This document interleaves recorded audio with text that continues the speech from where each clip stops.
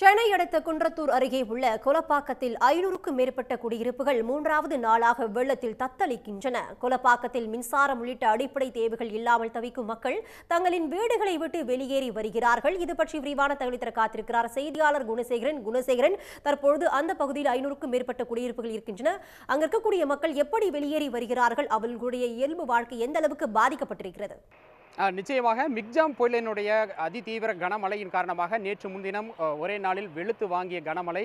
சுற்றி இருக்கக்கூடிய ஏரிகள் குளங்கள் நிறைந்திருக்கின்றன. அங்கிருந்து வரக்கூடிய உபரி நீரானது அருகில் இருக்கக்கூடிய வீடுகள் குடியிருப்புகளை சூழ்ந்திருக்கின்ற காட்சியைத்தான் தொடர்ந்து நாம் இந்த பகுதியில் பார்த்து வருகின்றோம். குறிப்பாக தற்பொழுது நான் இருக்கக்கூடிய இந்த குன்றத்தூர் பகுதியில் ஒரு ஐநூறுக்கும் மேற்பட்ட வீடுகளை இந்த வெள்ளம் இந்த பகுதியில் சூழ்ந்திருக்கிறது. குறிப்பாக அருகில் இருக்கக்கூடிய ஏரிகள் நிறைந்து இந்த ஊருக்குள்ளாக இந்த வெள்ளமானது புகுந்திருக்கின்றது.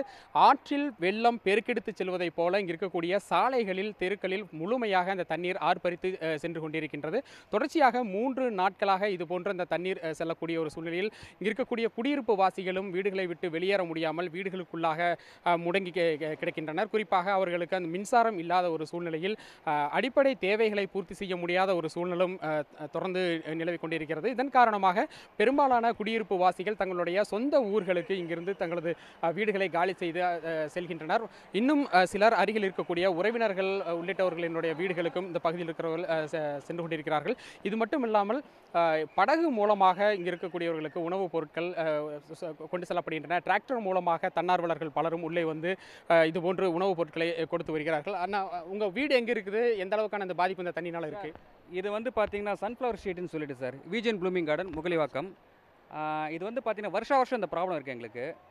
ஏன்னா இப்போ வந்து பார்த்தீங்கன்னா செம்பரம்பாக்கம் லேக் எப்போ திறந்தாலும் வந்து பார்த்திங்க ஒரு கேனல் இருக்குது ஒரு கால்வா இருக்குது இந்த கால்வா வந்து அடையார் பிரிட்ஜில் போயிட்டு அடையார் இதில் போய் கவர் ஆகுது. என்ன ஆகுதுன்னா எவ்ரி டைம் வந்து பார்த்தீங்கன்னா இந்த இடத்துல வந்து இது இருக்குது ஆப்போசிட் அப்படியே கேமரா திருப்புங்களேன். இது வந்து பொன்வித்தர்ஷம் ஸ்கூல் மெயின் ஸ்கூல் ஆக்சுவலாக இங்கே வந்து பார்த்தீங்கன்னா மூணு பள்ளிகள் இருக்குது சார் மூணு ஸ்கூல் இருக்குது குழந்தைங்க அவ்வளோ கஷ்டப்படுறாங்க. ரொம்ப சிரமமாக போகிறாங்க சார் எவ்ரி இயர் வந்து பார்த்தீங்கன்னா வருஷா வருஷம் மழை பெய்யும் போது இதே ப்ராப்ளம் தான் எங்களுக்கு. இது கவர்மெண்ட் வந்து பார்த்தீங்கன்னா ஒரு நல்ல இப்போ மூணு நாளாக இப்போ கரண்ட் இருக்கா என்ன இருக்குது வீட்டுக்குள்ளே என்ன மாதிரியான பிரச்சனைகளாக இருக்குது எப்படி நீங்கள் மூணு நாள் எப்படி நீங்கள் இது பண்ணீங்க? வீட்டுக்குள்ளே இங்கே வந்து பார்த்தீங்கன்னா ஒரு பசுமாடு இறந்து போய் கிடக்குது சார் வீட்டுக்குள்ளே பாம்பு இருக்குது நண்டுகள் இருக்குது தேள் வருது.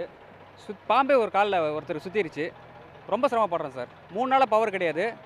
தண்ணி வத்தினா தான் பவர்ன்றாங்க இப்போ என்ன பண்ணுறது தெரியல. இப்போ பார்த்தீங்கன்னா வயசானவங்க மூணு பேர் இருக்காங்க. எவக்கேட் பண்ணுறது போட் அரேஞ்ச் பண்ணியிருக்கோம் இங்கேருந்து சொந்தக்காரங்க வீட்டுக்கு மூவ் ஆகிட்டு இருக்கோம் சார் இங்கே எங்கள் அப்பார்ட்மெண்ட்டில் முப்பத்தாறு பேர் இருக்காங்க. முப்பத்தாறு ஃப்ளாட் இருக்குது முப்பது ஃப்ளாட்டு காலி பண்ணிட்டாங்க. ஆறு பேர் தான் இருக்காங்க இப்போதைக்கு. அவங்களும் எல்லோரும் கிளம்பிட்டாங்க. அவங்கவுங்க சொந்த வீடு கிளம்பிட்டாங்க.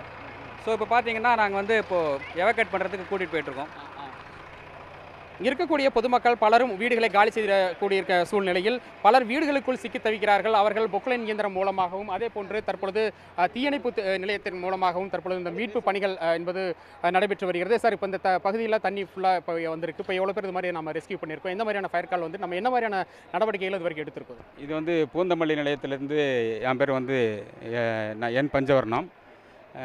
இங்கே வந்து கிட்டத்தட்ட வந்து ஒரு நூற்றி எண்பது பேர்கிட்ட ரெஸ்கியூ பண்ணியிருக்கிறோம்.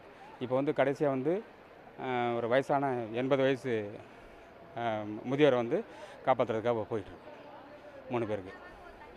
இப்போ அதிகப்படியான தண்ணி இருக்குது நம்ம இருக்கக்கூடிய உபகரணங்கள்லாம் போதுமான அளவுக்கு இருக்கா? உள்ளே போயிட்டு அவங்களை எல்லாம் சேஃபாக கூட்டு வர முடியுதா? எப்படி இருக்காங்க இருக்குது தேவையான உபகரணம்லாம் எல்லாருமே கொடுத்துருக்காங்க. ரப்பர் போட்டு கொடுத்துருக்காங்க. அதுக்கு இல்லாமல் வந்து ஓபிஎம்னு சொல்லக்கூடிய மோட்டரில் போக கூட இருக்குது ரொம்ப லாங்காக போகிற மாதிரி நம்ம ஓபிஎம் யூஸ் பண்ணிக்கலாம். இது வந்து புறநகர் மாவட்டம் ஐயா தென்னரசு அவர்கள் மேற்பார்வையில் இந்த ஒர்க் வந்து நடக்கும் அவங்களுக்கான ஃபர்ஸ்ட் எய்டு கொடுக்குறது அந்த மாதிரி எக்யூப்மெண்ட்ஸ் எல்லாமே எல்லாமே. வச்சிருக்கோம். இப்போ இப்போ வந்து அவங்க வந்து என்னன்றதை பார்ப்போம். பார்த்துட்டு இப்போ அவங்களுக்கு வந்து வாட்டர் சப்ளை பண்ணணும் தண்ணி இல்லாமல் இருக்கும். வாட்டர் கொடுப்போம் பிஸ்கட் கொடுப்போம். உடனே வந்து ஆம்புலன்ஸில் ஏற்றி அவங்கள வந்து நியர்பை ஹாஸ்பிட்டலுக்கு கொண்டு போய் சேர்த்துருவோம். ஓகே தேங்க்யூ நடந்து செல்லக்கூடிய இயல்பவர்கள் அந்த முழங்கால் அளவிற்கான தண்ணீரில் உடைமைகளை தூக்கி கொண்டு அவர்களாக சென்று இருக்கிறார்கள் ஆ, செ- அதிலையும் செல்ல முடியாதவர்கள் படகுகள் மூலமாகவும் அதே போன்று பொக்லைன் இயந்திரம் மூலமாகவும் மீட்கப்பட்டிருக்கிறார்கள். உடல் நலம் பாதிக்கப்பட்டவர்கள் தான் தற்பொழுது தண்ணீரில் உள்ளே வீடுகளுக்குள் சிக்கியிருப்பதாக வந்த தகவலின் அடிப்படையில் தீயணைப்புத் துறையினர் அவர்கள் மூன்று பேரை மீட்பதற்கான முயற்சியில் தற்பொழுது வந்து இந்த பகுதியில் வந்து ஈடுபட்டிருக்காங்க. உங்கள் வீடு எங்கே இருக்குது? எவ்வளோ தண்ணி இருக்குது? இப்போ பலரும் வீடை விட்டு காலி பண்ணி போயிட்டாங்களே. இப்போ நீங்கள் என்ன பண்ணிட்டு இருக்கீங்க? நாங்கள் வீடு அங்கே தான் இருக்குது எனக்கு வீடு க- கிருவம்பாக்கம் அங்கேயும் தண்ணி ஃபுல்லாக தான் இருக்குது கால் முட்டியால் அளவு இருக்குது கால்வா ஃபுல்லாக போகுது. இங்கே ஆக்சுவலாக பார்க்கறதுக்கானே வந்தேன். ஃபுல்லாக தண்ணியாக இருக்குது வருஷம் வருஷம் ஏதோ பிரச்சனை தான் நடந்துக்கிட்டு இருக்கு. வருஷம் வருஷம் அப்படியே இதாகிட்டே இருக்குது தண்ணி ஓவர் ஃப்ளோ போயிட்டு இருக்கு. வயசானவங்க நிறைய பேர் இருக்காங்க. எல்லாம் காலி பண்ணிட்டு போயிட்டு இருக்காங்க. ஆமாம் ரெஸ்க்யூ பண்ண வந்திருக்கேன். சொந்தக்காரங்க இங்க இருக்காங்க. பார்க்கறதுக்காண்டி வந்தேன். இந்த தண்ணி எங்க இருந்து வருது? இந்த பக்கம் போறக்கு வழி இருக்கா? எங்க போகுது? தண்ணி வடிகிறதுனா எவ்வளவு நாள் ஆகும்? தண்ணி வர எப்படி இன்னும் ரெண்டு மூணு நாள் ஆகும் சார். ஏன்னா செம்பரம்பாக்கம் தண்ணி தான். ஃபுல்லாக அந்த கால்வாயில தான் வருது. ஃபுல்லாக எல்லாம் இங்கே தான் வருது. எல்லாமே இங்கே தான் வருது. இதுலேயும் போகும். ப்ளஸ் எங்கிட்ட அடையார் கால்வாய் பின்னாடி இருக்குது அதுலேயும் போகும். இது ஃபுல்லாக வடிஞ்சால் தான் நம்ம அடுத்து வெளில வர முடியும். நீங்களே பார்க்குறீங்களா? இப்போ முட்டி அளவு நேரத்தெல்லாம் பார்த்தீங்கன்னா ஃபுல்லாக இருந்துச்சு. இன்றைக்கி முட்டி அளவு இருக்குது ஏன்னா வயசானவங்களாம் வர முடியாது. எல்லாம் உடம்பு சரியில்லாதவங்களாம் இருக்காங்க. அவங்கெல்லாம் இப்போ அதுக்கு தான் இப்போ தீயணைப்புத்துறை வந்திருக்காங்க. எடுத்துக்கிட்டு இருக்காங்க. தேங்க்யூ சார் இவர் சொன்னதை போலத்தான் இந்த பகுதியில் நேற்றைய அளவை விட தண்ணீரின் அளவு குறைந்திருந்தாலும் கூட இன்னும் முழங்கால அளவிற்கு இந்த தண்ணீர் சூழ்ந்திருக்கக்கூடிய சூழ்நிலையில் ஒரு ஐநூறுக்கும் மேற்பட்ட வீடுகளுக்குள்ளாக இன்னும் பொதுமக்கள் இருக்கிறார்கள். அவர்களை பத்திரமாக மீட்பதற்கான முயற்சிகள் தான் தற்பொழுது இந்த பகுதியில் நடைபெற்று வருகின்றன. செம்பரம்பாக்கம் ஏரியிலிருந்து வரக்கூடிய இந்த உபரி நீரின் காரணமாக இந்த தண்ணீர் நீர்வழிப்பாதையில் இல்லாத காரணத்தால் இந்த குடியிருப்பு பகுதிக்குள் புகுந்திருப்பதாகவும் இன்னொரு இரண்டு மூன்று நாட்களுக்கு இந்த தண்ணீர் வடிவதற்கு நாட்கள் ஆகும் அப்படின்னு இந்த இருக்கக்கூடிய மக்கள் வந்து சொல்லியிருக்காங்க.